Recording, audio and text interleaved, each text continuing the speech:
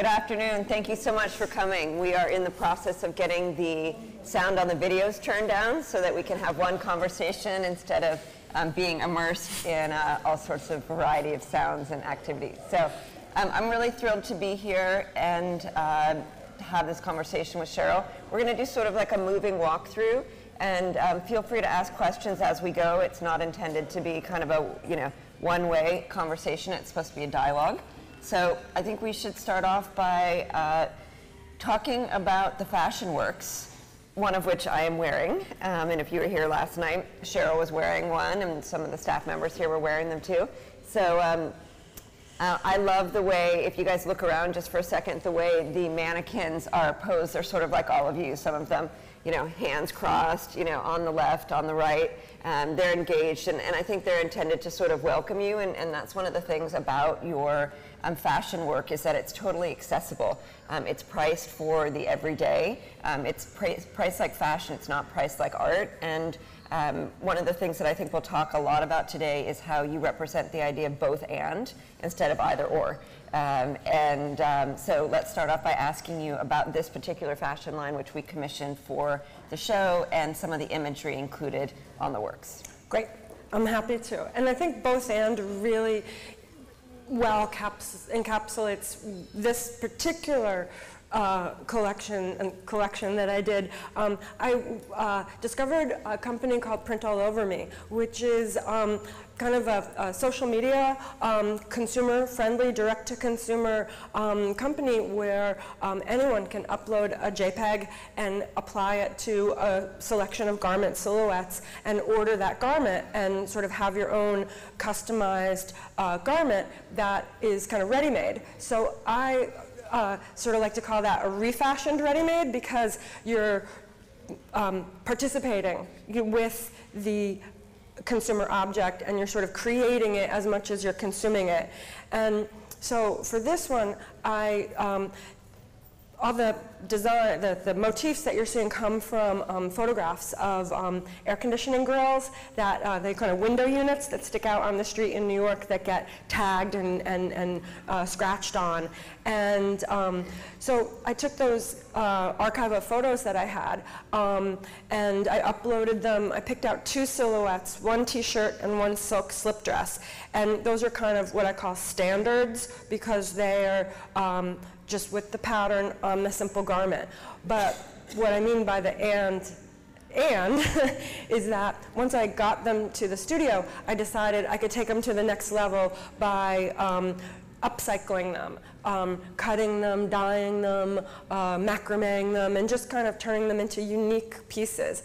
But the methods I used are kind of um, you know, what people always do with their clothes, um, cutting off the, the neck out of a t-shirt, uh, bleaching or ripping jeans. So I kind of feel like, you know, the accessibility is like my accessibility, like what I can, can do with a pair of scissors. So it's not like couture, nor is it like a sculpture. I, I want it to be worn and, you know, partied in and washed and worn again. So, you know, that's why I, I sort of, um, yeah, the accessibility is really important to me. So, for a long time, uh, artists couldn't really be interested in fashion. I'm making like gross generalizations, but um, artists couldn't really be interested in fashion and, and be taken seriously as well. Uh, and also, for a long time, artists couldn't be moms and be taken seriously as well. Um, and so there, there are a lot of these kind of, um, I would call them severely antiquated notions, which are luckily now sort of broken apart. Um, but a lot of them sort of apply to you. So maybe you could talk a little bit about your personal practice hmm. and all the different facets that come together to make you know who you are as as an artist.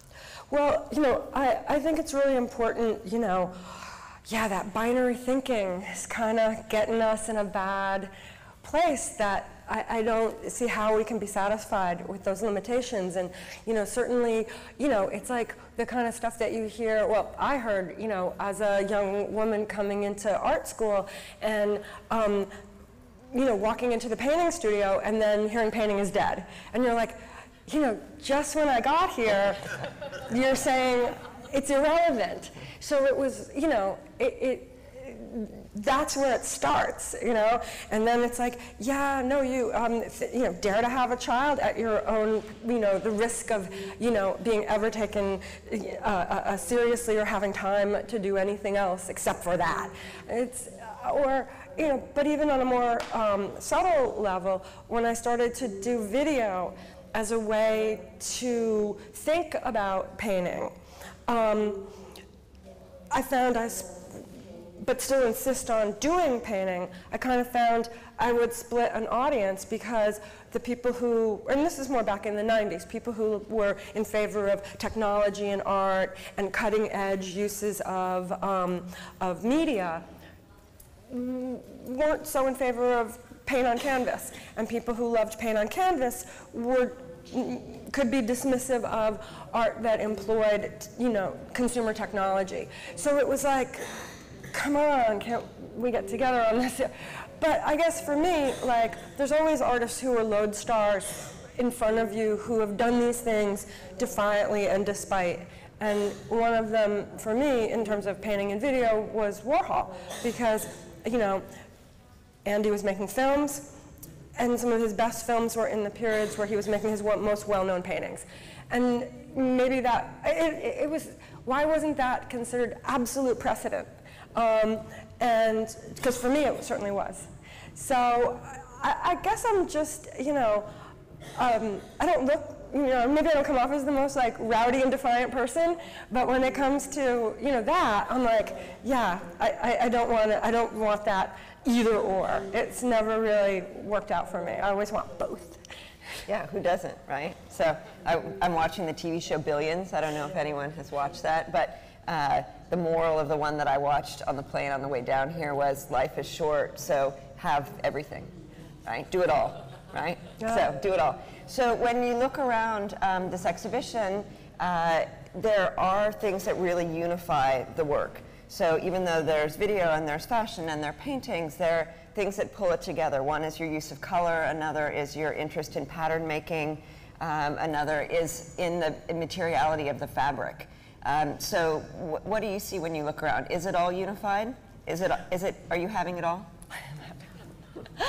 um, it's, uh, it's funny because, you know, I think, you know, when this um, exhibition was in Aspen, in the, uh, um, your home space and your home institution at Aspen, um, it was really galvanizing because I felt the curation um, really allowed me to kind of put a foot out there as a painter because um, there weren't that many videos in that iteration. And so, you know, even though I'm saying like have it all, I was really appreciative of the way that you shaped the show at, to highlight the painting practice, which is kind of in the public eye a little bit dragged behind.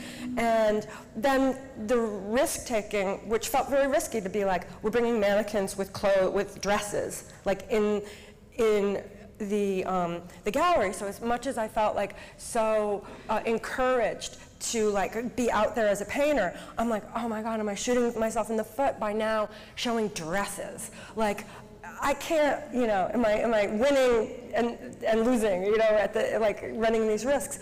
But, you know, here in this, but, and it didn't turn out that way. It was a really nice and exciting balance, I thought.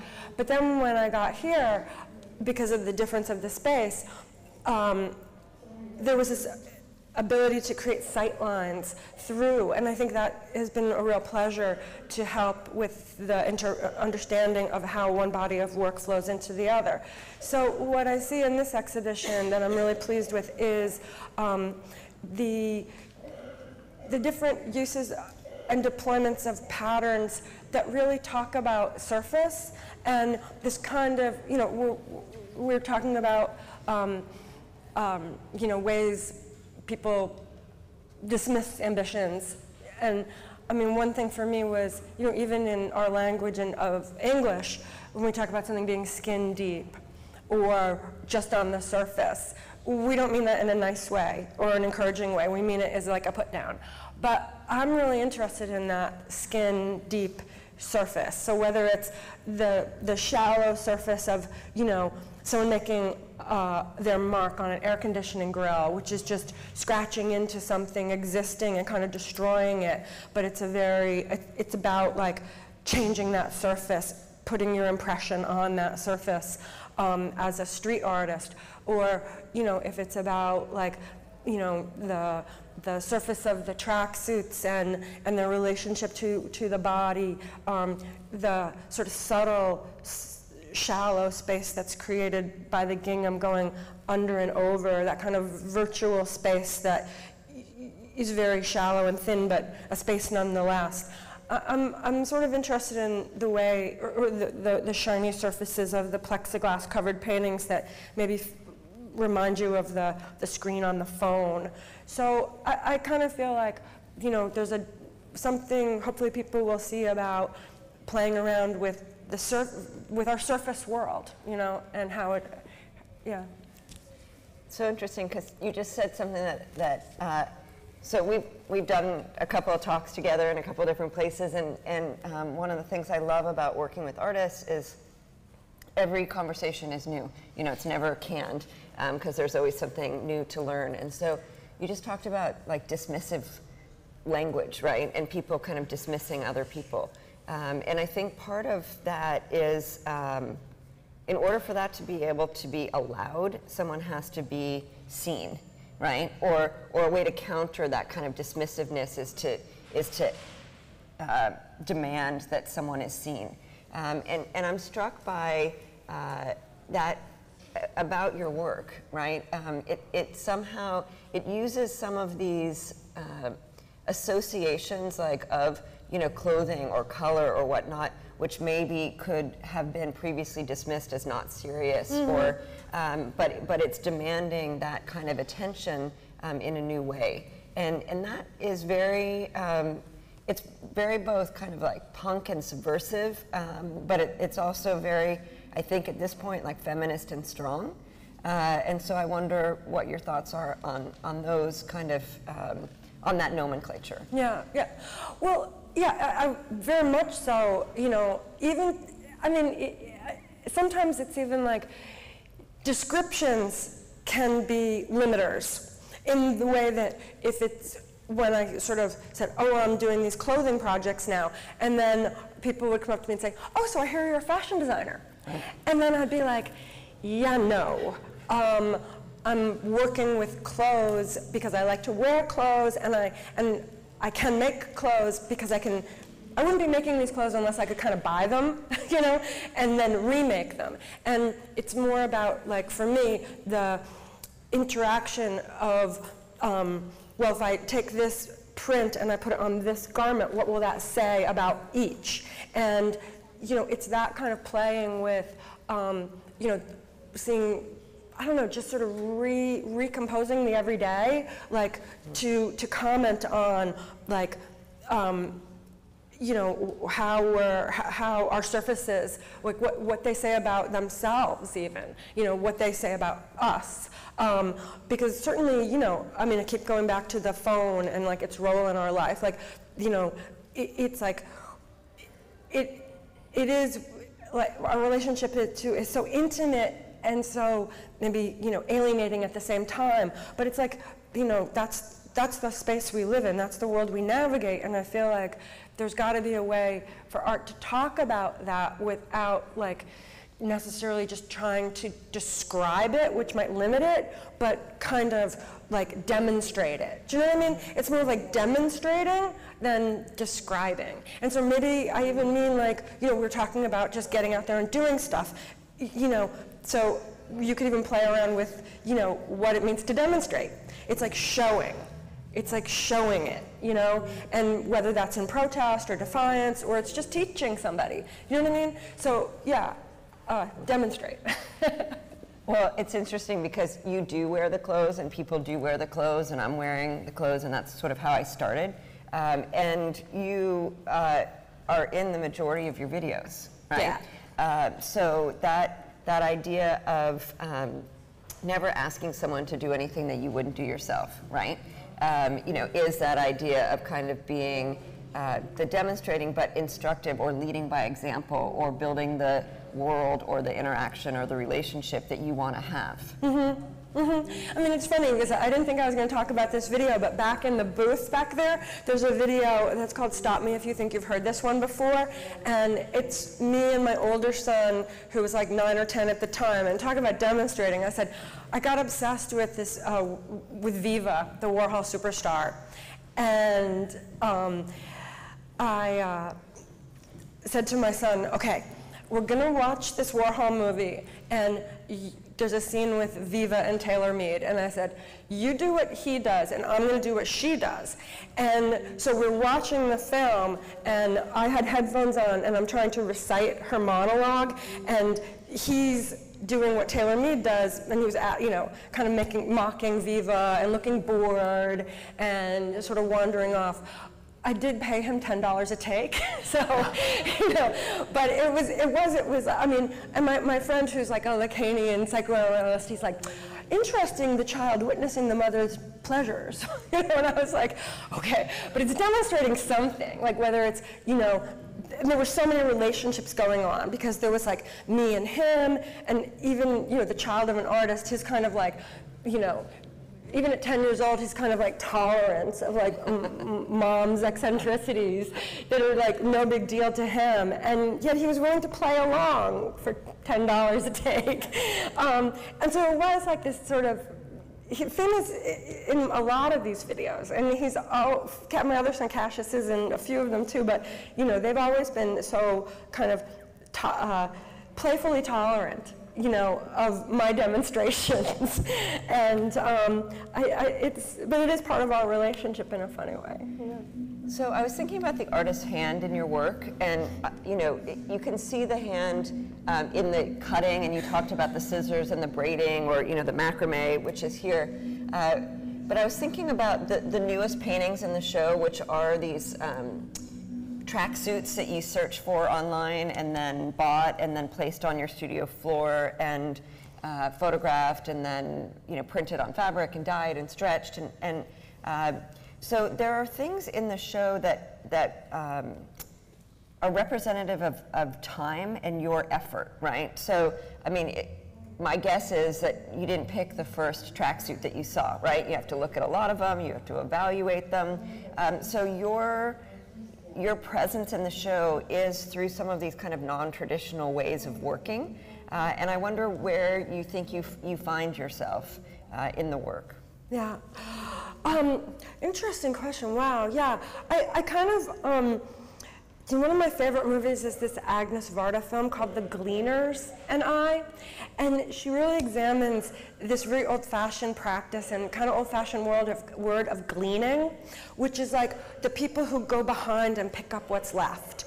So it's like the gleaners are like in the like the old-fashioned like harvest sense, and I guess it's like is an agrarian word, and they come behind and pick up what's left that like the first pickers didn't get, or maybe the, the ones that the for the pickers left behind because they were like the least good products, or you know the things that are fallen off the coal truck, and so there's this sort of like notion of it that it's like a, maybe a, a, an act that like of desperation or sustenance and survival in difficult conditions. But, you know, it also is like flea market shopping. You know, but what was attractive to me about that gleaning is it's like you're, you are kind of a picker but you're noticing and you're picking what others are leaving behind or what others don't think is important you know and i feel like you know ebay is like a gleaner's paradise, right? And so there was so many hours of gleaning on eBay. And at first I was doing it, you know, because all the flea markets in New York were dried up because of the real estate boom. And so you could only scratch that itch online. And I was also, I started at Tumblr as like kind of a, a notebook of images, like an archive of images. So I was constantly trying to look for images, gleaning images to feed my Tumblr. And through this kind of act of gleaning, um, I, I stumbled on these tracksuits. And I'd been previously kind of interested in this idea of junk space, which I guess there's going to be a talk on here later, but this idea that comes from architectural theory of, well, you know, how do we describe our contemporary buildings, you know, that are kind of both extravagant and sort of pathetic, you know, where like, that are enabled by like um, escalators and, and, and mezzanines and endless plate glass. And anyways, I just found that descriptor of contemporary space something I kind of latched onto as like a way to compose because you know, I was like, oh, the, the modernist grid, the Greenbergian flatness, the cubism, like, it's not really like describing how an image comes together in like 21st century space. So the tracksuits kind of appealed to me as like the body turned into junk space, like a bunch of geometric shapes that like didn't really describe the body, but were definitely like implied or placed on. So and even the space of how they were photographed, like flat on the floor with like light flares and weird, weird photographic kind of mistakes.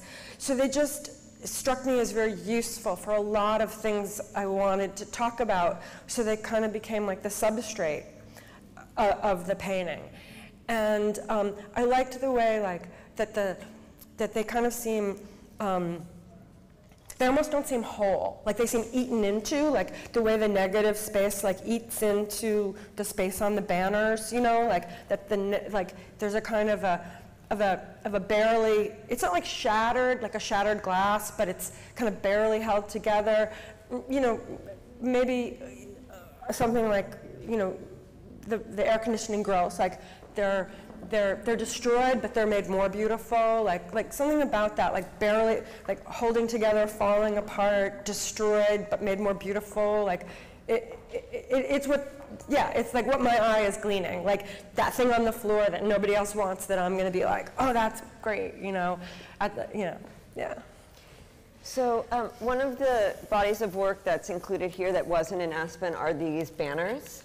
Uh, and and I was saying last night how much I like the relationship between the banners uh, and these, uh, what do we call them, the process? Those are like early resist. Okay, so Yeah. the early resist paintings.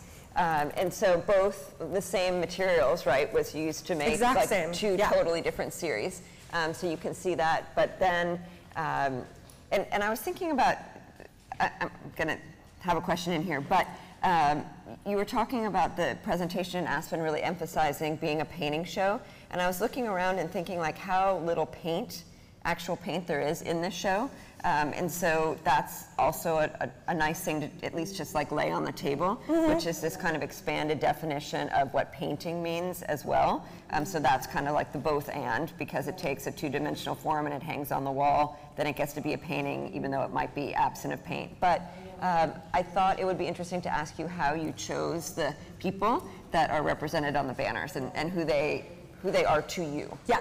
Well, um, the the people on the banners are you know just from a long list of artists, entertainers, designers, creative people, actors um, that just I love. You know, I mean, people that mean a lot to me that are in kind of my own personal pantheon, like, you know, uh, just musicians that I've really, I, I, listen to all the time in the studio, films, filmmakers, um, and so I, I, have this ongoing list. And I, I was kind of inspired by, um, there's a favorite piece of mine by um, Lee Harvey, uh, by Sigmar Polke.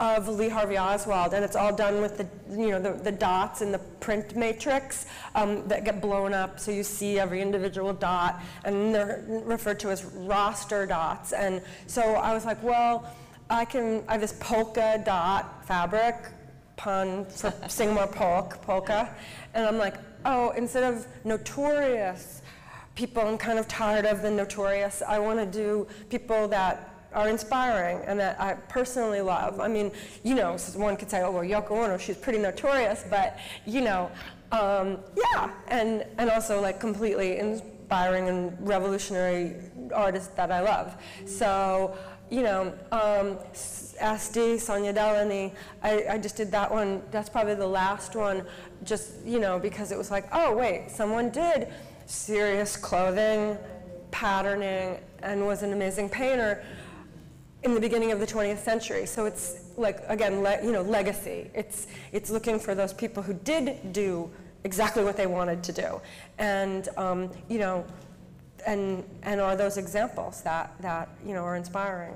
Um, there was something else that you, you said, I, I forgot. I was talking about the, The- oh, the paint. Yeah. I mean, like, I, I kind of mentioned like thinness and surface and stuff. And I think, you know, one reason I, um, uh, you know, since I had all these thoughts about like the surface and the, the, the, the, the, the, the skin deep, the kind of thin depth, um, that I thought, well, I really want to push the paint into the surface so that it's not just merely on the surface, but it becomes the surface. It's, it's indistinguishable from the surface. So that's why I kind of started using dye, because I thought, well, that's the thinnest paint. Um, it, and, and it's, the painting itself has to be immersed in it. It, it can't just be applied. So it's so again, it wasn't like on the surface. It was like in the surface. It was like you know trying to press everything you know almost to the level of a screen itself, where you know it, it, it's like when you like I always bring up the example of the. Um, you know, now it's very familiar, but when they first presented like iPads to do your signature when you bought something, and I always was like, it was so dizzying to me just kind of thinking about and the spatial relationship there because like I'm making the mark, but the mark is coming up at me. So I'm kind of meeting the mark and and my touch is like triggering it, but it's not making it in it was just like it still kind of freaks me out. I mean, now we're used to it. But I found the first time I did it, I was like, what? You know, and um, it didn't feel like official. You know, it felt like just kind of woozy. And um, so it's that kind of thing, like dealing in like screens, that I was like, how do you how do you get that into art? But to me, it's like, how can you not get that into art because that's our world? Do you know what I mean? So uh, I'm struck by the placement of some of the objects in the space in terms of like being in our space, right? Or this idea of how art comes into the world. So you have the monitors on the ground. You know, we've made reference multiple times to the mannequins. I'm looking specifically at the banners, uh, which I know um, can be printed at any size. Um, so here they're printed, you know, to go from the very top of the wall. And these are really high ceilings, um, and oftentimes people don't really look up, right? You kind of look at your eye level, or and, and we hang art for the most part, like at this kind of assumed um, center line of, of vision. Um, but this goes all the way to the top, and then it also bleeds out into the space, you know, of um, of like the physical presence, right? Standing, sitting, um, being on, and um, and then that, that kind of scale jump with some of the smaller works, particularly just to their left, uh, and that that for me is another of kind of like the both and like fill your peripheral vision and then bring people in for this very intimate experience. And um, how how important for you is that kind of physical interaction where people are kind of you know leaning into and pulling away from based on what they can see and what fills their vision space Yeah. I mean, it's interesting, you know, because it's like, I mean, I guess, I mean, one reason, you, I gotta take it back a couple of steps, like, you know, one reason that, like, it was so frustrating to, um, originally for me to, like, approach painting was um, because I had so many d- demands for it. Like, I wanted it to be a picture, but I also wanted it to be a way of thinking, but I also wanted it to be an object hmm. and also an action. And, you know, so there was so many, like, it, it's really hard when you're a young artist and you have all these demands for what you want it to be to just think of one thing that's going to fulfill all those demands. So it is like a trial and error, like, well, let me try this and let me try that. And, and for me, a lot of it was like, I, I didn't know it at the time, but like acting it out, like acting out the gesture, acting out the mark, you know, and filming it because I didn't know how to get it into the painting the way I wanted to. So I guess what I'm trying to say is like, like I really, you know, when I look at, say, I don't know if people are that familiar, but one of my favorite, you know, kind of moments in art is the French mm, um, 1960s, 70s um, movement that's collectively known as support surface. So it's like supports, the support of the canvas and the surfaces. And to me, they're kind of, you know, again, a case of and, and, a- you know, and, and, where um, these guys, mostly guys, were like, really inheritors of the legacy of Matisse, but then they had all American conceptual and performance art to deal with uh, that they were, you know, getting the influence from of like, you know, the radical art that was going on in, in, in America and Germany and Japan in terms of like performance and people's bodies. And, and like when you look at what they came up with when they put all these things into the mix, amazing like colorful, but also weird as objects. And so it's like they, they, they got it. Like they got to make beautifully colored Matissean paintings that also felt like strange and rigorous objects that also felt performative. And like, so it's, and maybe it was because of their vantage point as like artists in the south of France, like away from the center, that they got time and space to figure this out. So it's stuff like that, like that, you know, when bringing all this list of demands and thinking, how am I going to shoehorn this all into one thing? It, it, it takes time, you know, and I think that's, you know, the kind of meandering through the different bodies of work to try to find that satisfaction. So, do you think there's humor in your work?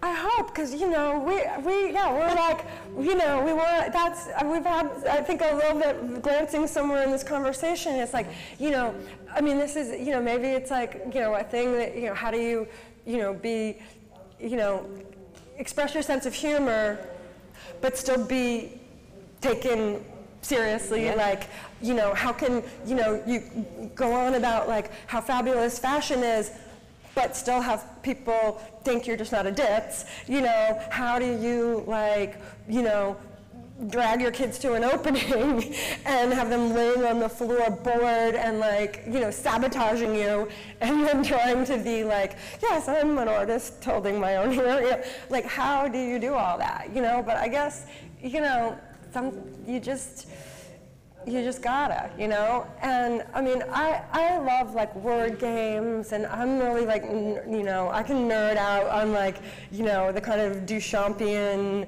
spinning of, you know, words into, you know, their um, homonyms and the, so puns, you know, I like all that. So I, I try to like bring that into the work. And, you know, I, I guess like for me in the video, like I'm not like a performer as much, you know, like I would not be on stage, but when it's me and the camera, like I would feel a little bit more free to like kind of just go there. So um, I think more in the um, in the video that you know kind of found a place. But you know even hopefully like like a lot of people ask me about the title like girls, girls, girl. What is it? I'm like it's all of them. Yeah. so I think that's funny. I think it's funny too. I, I actually think the um, paintings with the uh, horizontal, um, or sorry, diagonal ruffles are really funny. You know, I mean, it, it's like what, you know? Yeah, yeah, So, yeah. I mean, and I think a big part of humor comes from the insertion of the pause. Um, and I think we live in a time where everyone wants to like understand everything all the time because no one wants to like feel dumb or like they missed out on something or there's like something being pulled over on them. And you know, contemporary art falls prey to that sometimes, right? Where For like sure. the emperor's new clothes thing. So, yeah, yeah. so this idea of the both and is, I think, very. Uh, it can be even more disruptive because it makes people even more uncomfortable. Because it's like, well, I thought it was that, and you're saying it's like that and that, but like, how can it be this if it's that? And it's like, yeah, like exhale, and just like accept it, right? Um, and I think that's, you know, that's the authenticity piece. It's like, yeah, you can give a talk, uh, you know, while your kids are in the space, you know, or you, you can do these different things. So, Well, it's tolerance, isn't it? yeah, that would be great, right? You like tolerance of the slippage, Yeah. tolerance that it goes both ways, and you know that this is the field and this is the running room, and we have to be tolerant because you know, like it's not a threat. You know, it's just the field, it's the expanded field, and you know, like with more, like one of you know the favorite uh, ma- mantras, you know, of like here comes everybody. Well, I guess you know it didn't work out so great on Twitter, you know, but like that idea that you know we're we're we're tolerant of each other's experimenting because like you know, all these different combinations are coming up, and the more people who are recombining, like the more possibilities. It's like an increase in possibilities rather than a diminishment of possibilities. But there has to be tolerance so that those, yeah, so that's not seen as a threat, but like as pleasure. Yeah, I mean, I would, I would argue the opposite, which is um, there is a benefit to tolerance because it is a threat. Um, mm. And I think all these things are threats, and I think that's what's awesome. You know, um, I think the, uh, the, the threat and the discomfort um, is where the power comes from. So. Well, I mean, I could speak to that, and I take point taking because, like, you know, when I was making those paintings, that, like, you know, you're talking about lack of paint, you know, and I'm a lover of painting. Like, I love it. I'm like, I did not come here, you know, to to dismiss or destroy painting or or limit it. Like, I came here to participate in it, and so you know, but when I was making those paintings where like um, I just uh, it's um, gingham fabric on board, and I was just like. Um, thought I was going to make something else, and I put the glue down, and I stuck it, and then I turned around and walked away, and then turned around and went, I think that's it. Like, because the glue dried funny, and I was like, it's like, like, you know, you know, what I was talking about earlier about the surface and the body and the space of, the intimate space of the body and the skin, like the idea that, you know, you could make the painting look like it had sweat stains, like pit marks. You know, to me that was like, yeah, it's kind of dirty, it's kind of gross, but like, even it was like, well, it's about that, um, that subtle differentiation makes the mark. Like the subtle shift in like, you know, whether, yeah, like in the case of, yeah, body temperature starts to um, have an index, have a presence, have a mark making, you know, and that that became like, oh my God, this painting looks like a sweat stain um, because the glue dried darker. Um, but I was like, wait, I think that's what I'm after. Well, I like that notion a lot of, you know, what is enough? Yeah. Like, how do you know when you're done? So, um, I, I, feel like I need to ask you about the sound in the videos since we, you know, silenced most of them, but then every once in a while, like some, you know, there's like a coughing or, you know, it's, um, it's like a phantom limb. Yeah. Um, so can you talk about the sound in, yeah. in the work? Yeah, um, like, yeah, the sound is really important to me and, and, you know, I hope people, you know, will, when it goes back up, if you can't stick around, maybe come back or something and, and you know, because the sound is very important. I mean, um, uh, I think two influences there was definitely like looking at, um, and, and at one point in time I had a studio that was right near Anthology Film Archives in New York, so whenever it wasn't going well, I would like, I just go to Anthology and see a classic movie. Um, so I saw my share of Godard films. And you know, Jean-Luc Godard, uh, French uh, filmmaker, has a theory of um, sound and image, and that you know, but it's always a plus between, you know, sound plus image because that's what film is. It's not, it's sound plus image. And so he really talks about how, you know, they weave, they can separate, they can diverge and come together. So I think I was really, you know, I didn't go to film school or do any study, but I kind of learned on my own. Um, so taking the point from Godard that, you know, the sound and the image don't need to correspond and, and the, the, sometimes that the, the sound can, can really push the imagery in a place that it needs to go emotionally. Um, and then I'm lucky because um, my husband Kenneth Goldsmith is um, used to be a DJ at an alternative radio station. He's a giant music collector. Um, he does ubu.com, so he's really finding weird and interesting sounds. So I had kind of this sound library at my fingertips of you know just stuff I could use and and um, so I, I, I really like try um, to sort of push the sound and, you know, whether it's appropriated sound. I mean, in the piece back here, Blood Sugar, it's just uh, an opening riff of a recent PJ Harvey song just looped, you know, so it could be a loop it could be, it's rarely me speaking, even though I talk a lot. Um, but um, it was, and, that, and that's probably the reason why I did the Viva monologue as a sound, because it was like, that was one of my own things that was like, when I get nervous, I talk a lot, nervous chatter. And I was like, it was sort of exercising like the thing I don't like the most about myself and like, you know, thinking like, oh, well, all those Warhol superstars, they, Andy didn't say that much, but the superstars never shut up. so I was kind of like, you know, being both, you know, both like, um,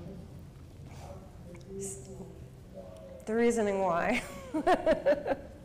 being both. Um, all right, let's have some questions. Let's have some dialogue. I said we would move, but everyone kind of seemed fine. So, and we could kind of see most things from here. But and we're mic'd, so it's real good. So, So you were talking about surface and shape and um, space.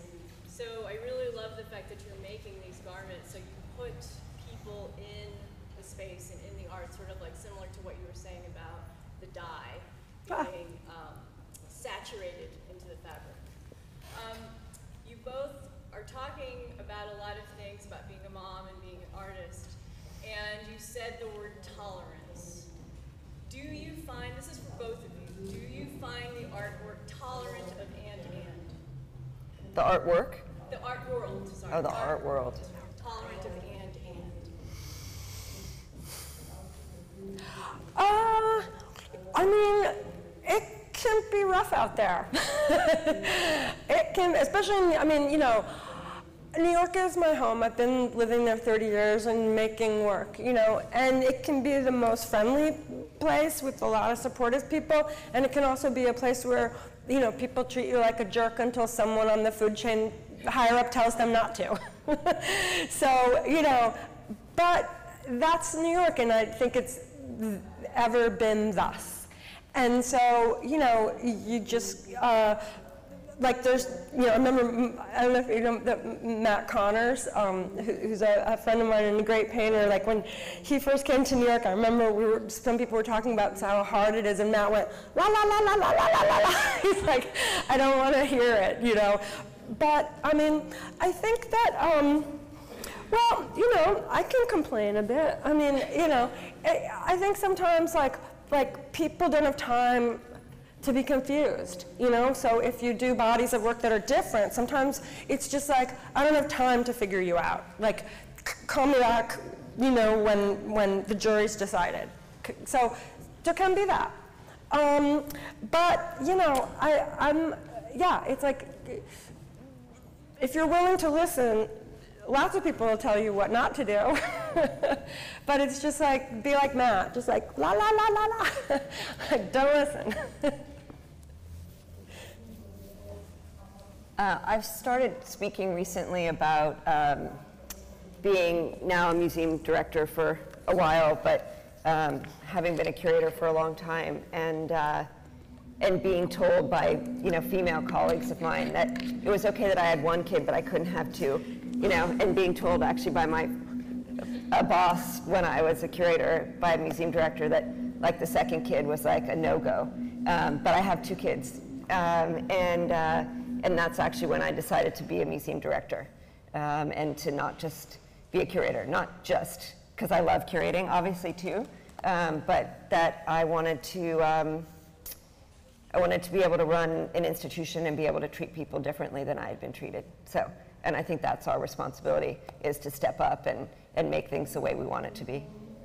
Yeah, be the change you want to see. Like, yeah, for sure. Not, you know, not like waving flags or calling attention or putting it on Twitter, but just doing the right thing. So, and um, doing the right thing so people see you do the right thing so that they can also then do the right thing. So. Yeah, yeah, and like I'm not going to criticize anybody else's choices, but like, you know, I mean, for me, it was just like, like what will make me happy in life, and I just thought like, it. I, I've always felt that, or I always did feel that one thing that would make me happy in life is being a parent, and so, like, I just thought like, you know, that I want that. Like there, you know, no matter what, you know, because I just wanted to uh, share that, you know. And I sort of feel like, for me, you know, uh, it's funny because you know, the whole model of, of being an artist is, is, is one where selfishness you know, is encouraged. Like that notoriously, like you, you, the selfishness, it's like, yes, you know, you're gonna, you are a selfish person. It's all about, and, and there's, uh, yes, that, that is kind of true. Like, uh, you know, I'm sitting there thinking about my work a lot, you know, um, and trying to get into that studio like ASAP, you know, and, and, and, you know, having couples fights about like who got more time to do their own work today, you know, I mean, for serious, and, and, and, and, you know, that kind of thing. But I just sort of feel like I've equally found myself many, many times in places that my, I went because they were fun for kids, where I actually got a ton of inspiration. I mean, this whole video, Flushing, um, was shot in the Flushing Mall out in, in Queens, where it was like we were taking the boys on like snowy February so we could like get like hand pulled noodles and they could run around, you know? And so I was like, I gotta bring my video camera out here. This place is crazy. And so I ended up going back to Flushing, and we kept going back and back and, and, and, and shooting video. And, and um, like, I found my, I found my, my, my source in a place that I went because my kids wanted to go. You know, um, uh, uh, uh, this other video with all the plastic toys um, came from buying a pinata uh, for a birthday and then being on some mailing list and constantly, you know, be getting these mailers uh, from this company to buy more toys. And I ended up downloading all the JPEGs from their website and making this cameraless video. So it was like, you know, if I was just alone in my studio doing my thing 24 7, like, would that have come to me? You know, I, maybe, maybe not, but because I had these boys and was out in the world in places that they wanted to be, um, I, I learned stuff and I saw stuff and I, I, I got uh, to find stuff, gleaning stuff, following them around that, um, that, that ended up in the work. So, I, I mean, lucky me. Other questions?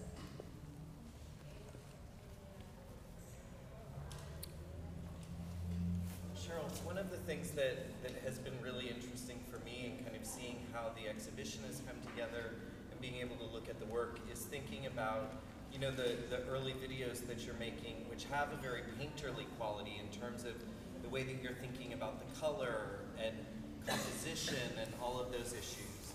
And then looking at the painting which often functions in this kind of screen space, whether we're thinking about the idea of like the, the plexiglass, which looks like a screen, even like the rasters, which are themselves a kind of screen, silk screening, all of these, these media. And it strikes me that there's this kind of oscillation in between uh, the, the kind of video space, like that flat space, and then kind of opening that space up into the world, but as an image. And I wonder if you can kind of talk a little bit more about that relationship between how that change started to happen for you between making video and making paintings, because I know that they've always you've always been doing both, but that there's been more more and less tension at time. Yeah, yeah, I think that that's a good way to describe it, like more and less tension, because I think, you know, one thing I struggled with early on was, like, I felt like I had to, I was obliged to make a demonstration for people of how this went together. And this is kind of like, I guess, the bad side of, you know, the demonstration I was talking about, because I sort of felt like, you know, that the only way I was gonna like get away with this was to be like making a painting in real time on the video and then showing it right next to the video, you know, and so it became like, you know, a very much of like, um, uh, a, like a, uh, like a set, you know, um, like a kit or something. And I think like, you know, the most successful of those was um, Kiss My Royal Irish Ass, this piece where like I did a performance where like I, I sat in green paint, I made a butt print and put a stem on it and it was like a shamrock.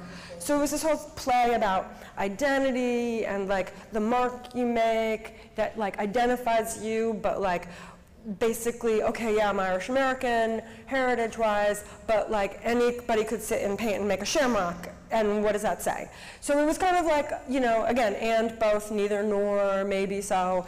And but yet that was like, oh, I got this print that's kind of like about print painting, and I did this performance. So it was like, it really was great. But then I tried to find other ways to do that, and it, it couldn't, you know, get the, the trick again. And so, like, then I was like, okay, these two have nothing to do with each other. And then I would just like make a video and then make the painting I wanted. And, you know, then so it's kind of been like weaving like in and out, you know? But I guess I'll go back to also what I said earlier is like, um, like the video, I think of it as like, an, video is almost like, it's not a medium to me in a funny way. It's because of its liquidity. It's like water. It takes the shape that you pour it into. So if you're looking at a video on your phone, you know, it's like ice cubes, you know, it's just like poured into these little, you know, discrete cups. Whereas if, you know, you're like in a video installation, it's like a swimming pool. You know, it just go, it takes the form it flows. And so it, it doesn't seem to have its own properties, no, the way I look at it.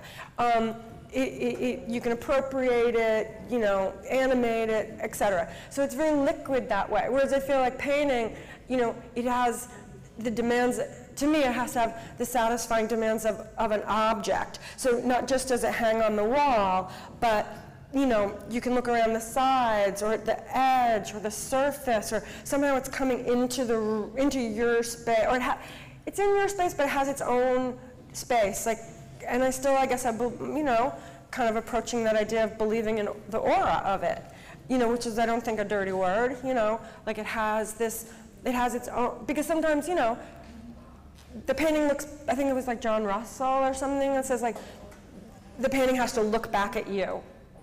You know, and I, I believe that. You know, it, it needs to have its own demands and that it looks back at you and tells you what it is.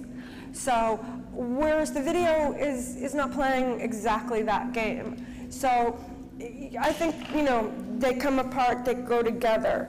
Um, and do you think that's maybe changed over time? Because I think that that in terms of video, I often think, you know, we're watching it on TV, but now we're looking at flat screens, we're looking at tablets, we're looking at our, at our phone screens, and as those images have increasingly become objects that we're holding, mm, looking at in true. a different way, I wonder if that maybe might change things as well.